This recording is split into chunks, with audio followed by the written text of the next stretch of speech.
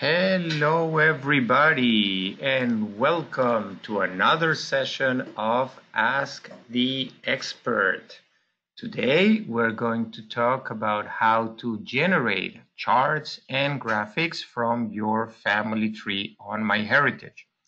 Uh, before I continue, I just wanted to remind you that we have a few more sessions planned for April, and hopefully already next week I'm going to be able to start advertising these sessions for May. And uh, talking about the Education Center, as you saw on the commercials, um, I'm going to be having a Facebook Live at the MyHeritage uh, Facebook page in just one hour. So you are more than welcome to stop there as well and learn all about the education page. Okay, for those of you who are new and don't know me, uh, if there are still people like that in the world, my name is Daniel Horowitz. I'm the expert genealogist of MyHeritage working for the company since 2006 and enjoying every moment of it, even in those uh, or this uh, problematic times that we need to work from home. Uh, I started uh, with genealogy in the 86, that's 1986, in Venezuela, where I grew up. And here in Israel, I am also volunteering for digitization and transcription projects with the Israel Genealogy Research Association. So now let's go directly to the MyHeritage website to learn how we can do uh, with our trees and how we can uh, generate charts and graphics. I'm going to start from a very simple demo tree that we have here. Uh, probably you already know them by heart. And I'm going to go to the family tree tab without clicking, and this is one of the mistakes everybody does. Without clicking, I'm going to see the drop down menu and I see family tree, my photos, colorize photos, import Gedcom manage trees, and more. So right here under more, it's hidden the pedigree map and the print charts and books. We will be talking about pedigree map in just a few more days. But today it's all about charts and books. Let's go there. And immediately, MyHeritage is going to show you all the possibilities that you have that are already pre-created for you. First, let's uh, start with the type of the chart or book. And for every and each one that you will select, MyHeritage will have an explanation and also a design so you will actually see and have an idea how this chart is going to look like. So ancestors, descendants, uh, hourglass, Sun chart, which is the latest one and exclusive to MyHeritage. I'm going to show you that one, a fan chart, very similar to the latest view that we have uh, released in our uh, website all in one. This is, uh, let me explain you right now because I'm not going to demonstrate this one. Uh, this will take every individual in your family tree, related or not to your tree, and will try to put it into a chart. So, a word of caution. If you have more than a thousand people or probably 2,000 people in your tree, please do not try this at home because the chart is going to be huge and uh, probably not very useful. If you have just a few people, uh, if you think you have some people disconnected from the tree, yes, this will be a good way of doing it. And then we have an option of a family book, which we're going to show in a minute. So right now, I'm going to choose the bow tie, which I think personally is probably the most beautiful chart because it's going to give me both ancestors from a set of parents and then also the descendants of those uh, parents selected. Uh, the second option that you have is the style, and MyHeritage has uh, about a dozen of different styles pre-created for you with backgrounds, with images, different forms, different colors. And if you keep going to the right, uh, yeah, definitely more than a dozen, uh, but also with images, like with personal pictures or no pictures, you decide. And the third option that you have here is who this chart is going to be created for. Normally, you will have it this uh, with your name when you are entering here for the first time. If that's not the case and you want to be the one picked, you can just click here and automatically your name is going to appear here.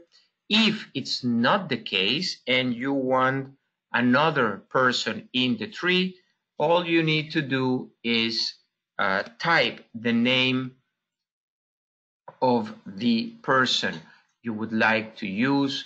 Uh, in this case, I have already pre-marked a person here, and uh, MyHeritage will put a title automatically that, of course, you can uh, customize and you can change uh, whatever, however you think appropriate.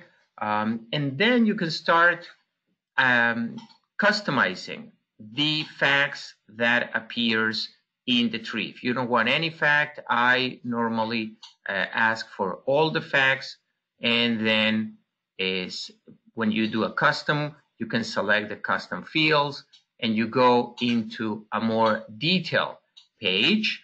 And I'm going to show you in a second how to come back here and select all the facts and all the events that you want to go. Uh, how uh, you can get there uh, simply by clicking select the custom fields and using custom. Mm, the other two options that you have is the amount of generation and if you have a too big tree probably you want to limit the amount of generations that appears over there. For this one I'm going to keep in show all generations and the printing method it will depend how do you plan to print it? You could print it in multiple pages and then print it at home. And if the chart is big enough, that will keep your kids or grandkids uh, busy at least for a good half an hour. Uh, they will need to put it together like a puzzle. Or you can select one single page and don't try to print it at home because probably the letters and everything in the chart is going to be so tiny that you will not be able to uh, read it. This is more when you want to either share with somebody uh, digital and send it by email, or if you want to print it professionally in uh, Kinko's, FedEx, or any other printing office uh, near to you. So with all every uh, with all the things already in place, I'm going to click generate chart. Uh, it's going to take probably a few seconds or minutes. Uh, an email is going to be in your inbox whenever this is ready, or if you're impatient, you can just click the refresh button multiple times until you have the chart. Yes, I know that was fast, but remember that this is a demo tree. I just have about 20 people there, not a lot of images. As you can see, normally it will take a little bit more of time. You can see already that I have been creating some charts before. Uh, you can see that all have different uh, titles and different ways. And again, each one you could you can see the PDF and the PDF is going to be downloaded to your computer and all this has zero cost. All this is totally free. You can do as many uh, charts as you want. You can download uh, as many charts as you want. And I am opening here now the PDF just for you to have a look of uh, how this one looks. This is not the one that I just created. This is one that I had created previously. Um, okay, uh, you can also delete it if for whatever reason you don't like it, or you can um, also, um, I'm sorry, uh, uh, one second, what happened here? Um, bum, bum, bum, bum. Uh, or you can order uh, professional printing that MyHeritage also offers you that option. Uh, and we will show you uh, how much it will cost depending on the paper, depending on the quality. You will see the size more or less uh, of the chart. And whenever you change here things, then the image is going to be changed uh, accordingly. Now, what I wanted to show you, uh, I'm going to open it in the new chart. Before we go there, uh, how can I go back and do more charts? Well, on the top, you have create new chart. You have my chart, which is where we are uh, right now. And then we have my posted orders. So I'm going to go back to the chart in this one. I'm going to go and just to show you, this is the book report. Um, and here you're going to see, and remember, this is just a demo, but all the information that you have from uh, the family tree extracted, uh, the images, the names, the events in a very nice narrated way with all the uh, descendants, ancestors, and all the individuals right there. Okay, um, and then a few uh, charts just for you to understand how all these people are related. Uh, list of uh, topics of places and index of dates as well. And all this was automatically generated from your family tree. So now you should go and make sure uh, how that, your tree has all the details. So uh, Kyla is asking that she missed how I generated the book. Kyla, especially for you, right here on the list of the different charts, I have the family book. Okay, so all you need to do is to select family book, uh, and here you select the person and what sections and what parts of the book you have, and MyHeritage will uh, create it for you. Now, the other one that I wanted to show you, which is kind of a little bit different, uh, is the sun chart. And you, the, the way it's created also, it is uh, a little bit different. Let me show you by putting here the Jansen. And I'm actually looking for the oldest Jansen in the uh, tree, which I think it's Martin Jansen. You know what? give me one second. I'm going to cheat just because I am live here with you. Uh, by the way, I didn't mention uh, you can actually ask questions as many people are already doing in the panel uh, right over there in your screen. So uh, be sure to write the questions and I'm going to try to answer them as we go. Uh, Mar Marjorie is asking what format the book is. It's in PDF, Marjorie. Everything it's created in PDF. You can see here the extension. It's a PDF, but let me tell you that uh, there are ways to um, convert the PDF into a Word document. So no worries. Uh, you can just download and convert it into a into a, a, Word document that you can edit it and and keep adding over there more information. Okay, so I have selected my person, and why did I cheat it? Because I wanted to make sure that I have the oldest person in the family tree. The sun chart will uh, set a couple uh, of ancestors in the middle, and then every circle around them, it's another generation. So here in the sample image, you have three generations down from this couple, all the uh, images of the people with the information. Of course, this is not going to be fully uh, demonstrated in this one because uh, I don't have too many kids uh, or too many people in the tree, but you can see that um, I have my couple in the middle and I have descendants here and uh, you see the, the names, the birth, the marriage, the death information. And this is actually when you have a big tree, this is the best way to have the most amount of people in a chart. Uh, you can control the zoom up here. You can control the settings of the chart right here. This is a little bit uh, different than all the other charts. Uh, it's exclusive of MyHeritage. Uh, once you are happy with what you're seeing, you generate the PDF and then it will be listed in the uh, in the page of the charts. Okay, so here I have, now I have my PDF. I can download it from here with no problem. If I want to go back to my website, you see up in the left corner, it says charts. I click over there and we'll get back to the start.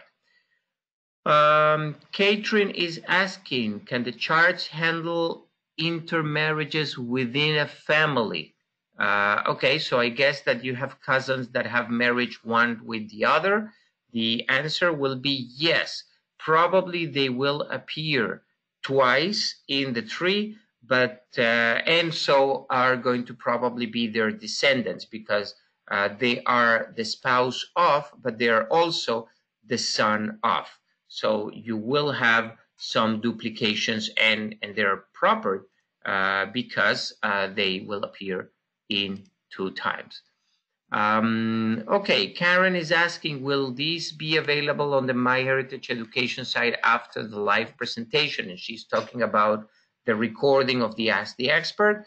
Karen, I am doing my best.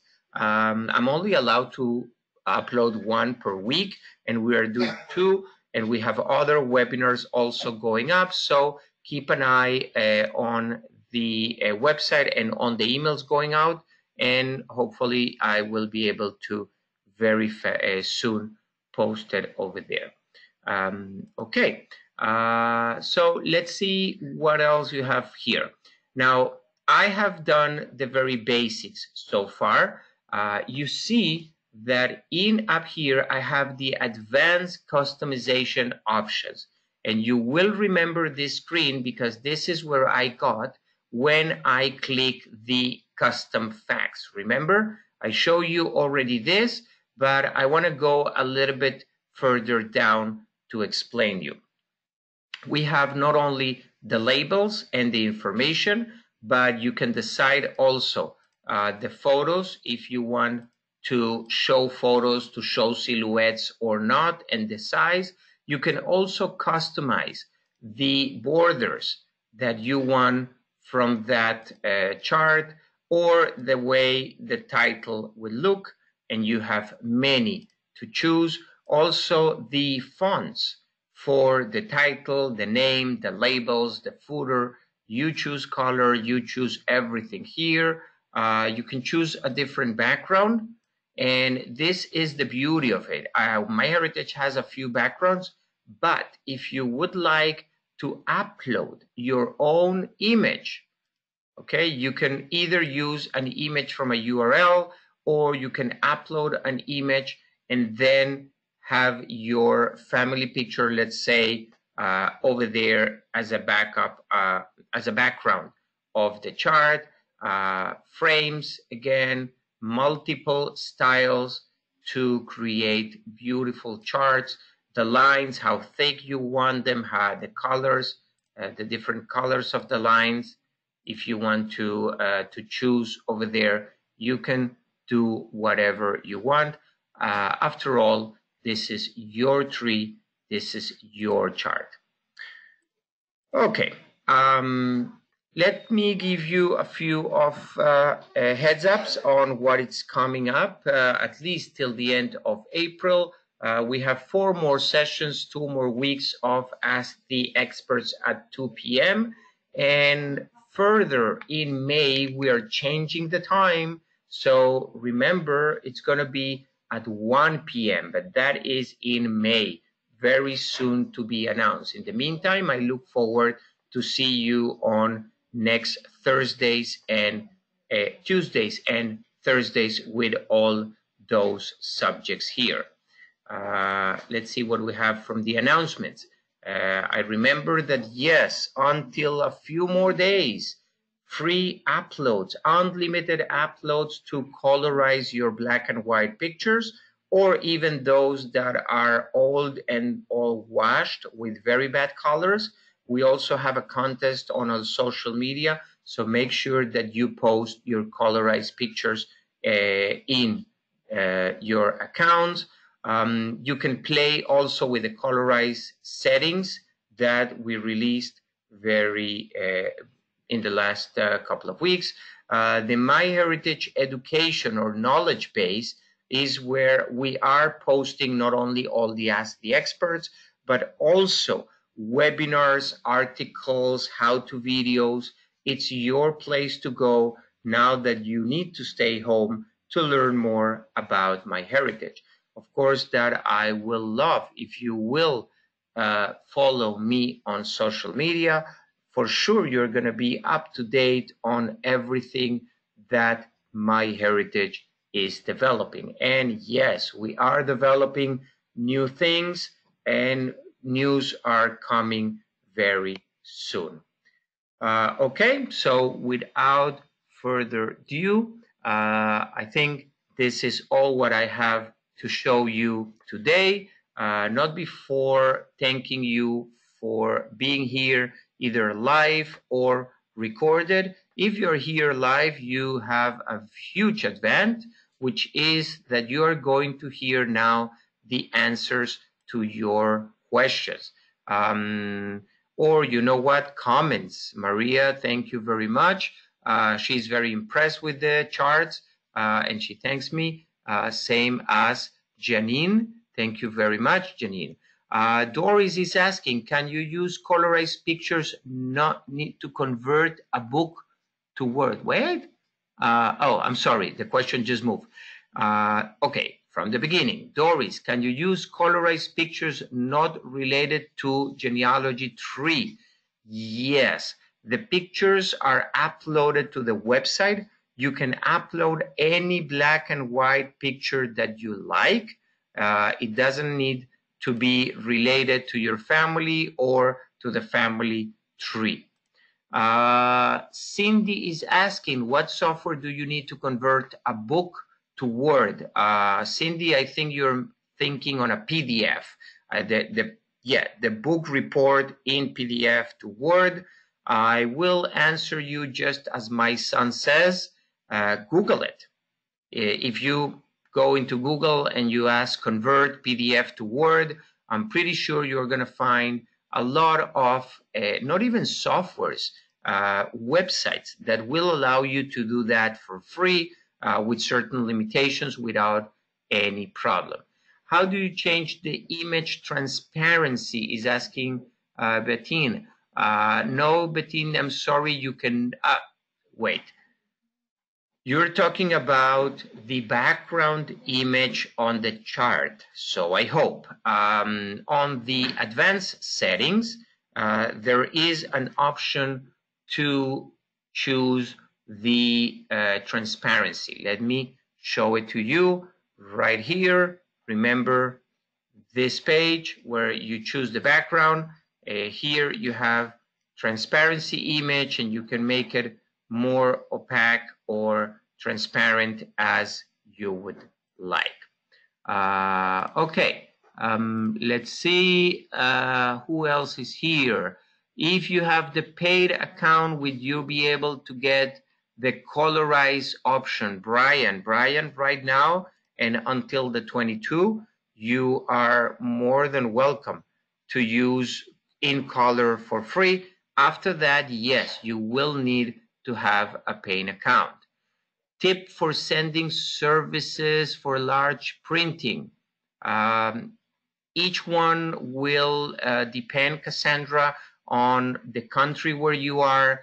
Uh, we have our uh, preferred um, company that we work together, and the chart is automatically gone to them. Um, probably any other will have certain requirements of the PDF and how they want you to uh, to be sent. Okay. Uh, Bettini is saying that he, he, you couldn't get the transparency bar to slide. Uh, you, depending on the chart and depending on which background you choose, the bar will or should move or not. Uh, also, if you're using a pre-loaded image or an image from the URL. Uh, is there a way to print a family group sheet is asking Kathy. Uh, Kathy, all the charts and all the PDFs that we are generating are printable without any problem. Uh, I'm not sure to understand what do you mean for a group sheet. Um, I love your are so for much. Uh, okay, May from California. It's my pleasure. I really enjoyed as well very much being here. Uh, can people who have an LDS Connect account on MyHeritage has, have unlimited colorization or is there a limit? Pam is asking. Uh, Pam, if I will need to guess, I will say you get uh, in color for free as well uh, for being LDS member. Uh, but do me a favor, don't cut me on that word. And if uh, you want to update me, I would love to know about that after the 2022. How hard is to export the chart to put in family slideshow in or into books? uh, is asking Cassandra. Cassandra, very easy. Let me show you, and probably this will be the last question. Uh, you see now the um, screen with the different charts that I have created. Each chart has a view PDF right there. Just by clicking view PDF, you're actually downloading uh, the chart. If you click the chart, it also works. You can see here in the lower corner how the PDF is downloading to my computer and then I can do whatever I want. Also putting it into a presentation, putting it into a, a book uh, in Word or any other uh, way or form. I will, yes, suggest you same as I show you with the book that we are creating. Um, give me just one second. Uh, remember, if, if you are doing a book, a genealogy book, um, try to add small amounts of, of family trees. Like don't try to print a huge tree because you will need to fold it and, and nobody's really going to enjoy it more than a couple of times. But if you add small charts like this to whatever book, or if you're doing a presentation, also uh, you will need like a small size chart so people can understand and can be readable also by others. Um, okay, so one more time, I am going to thank you all for your attention. Thank you for being here with me every Tuesday and Thursday at 9 p.m. Looking forward to see you in the next one or in just a few more minutes in our Facebook Live, where I'm going to be talking about the education website. In the meantime, please stay safe and do genealogy. Bye bye.